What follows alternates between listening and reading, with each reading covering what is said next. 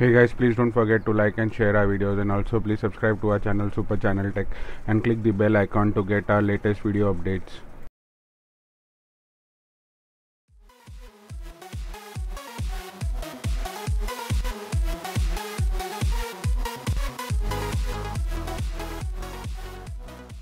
So let me connect this with my Android phone first. Let us check how the connectivity works. So okay, let's go to settings, Bluetooth. Over here, have I connected? Yeah. Settings. Soon be here. Bluetooth visible. Okay. Let me turn on the Bluetooth. So the name of this device is basically you, can see oh over here my name it's Apache DZ09 so this will be the one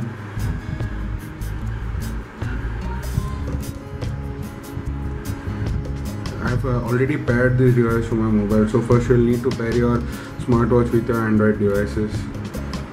Oh sorry for that. I've already paired my device with uh, my mobile so whenever you are uh, using it for the first time and you are connecting it with your Android device you'll need to you'll need to pair the device.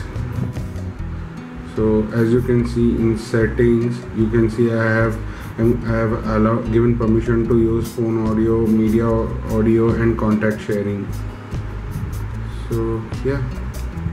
Let me show you how the how this works. So it's connected to the mobile. Now when i'm clicking on message and i'm going to the inbox it will give me two options. It will be local and bluetooth. So local will be the sms that i've received on the sim card that is inserted in the smartwatch and bluetooth will be the messages that are connected that are that are there on my mobile phone. But for using this you'll need to first install bluetooth notifier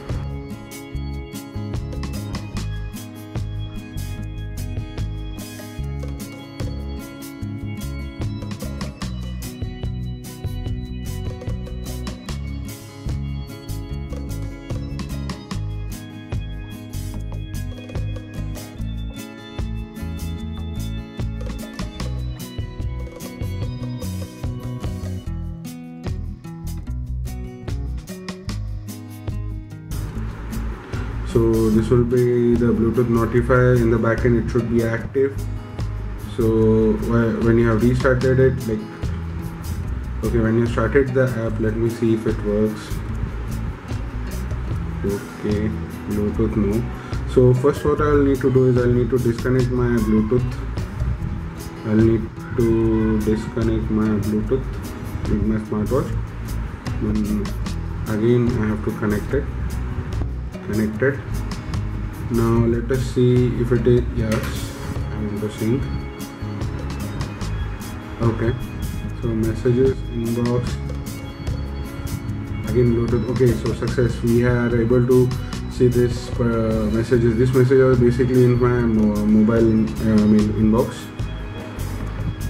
So yeah this works Thank you for watching. Please don't forget to like and share our videos and also please subscribe to our channel Super Channel Tech.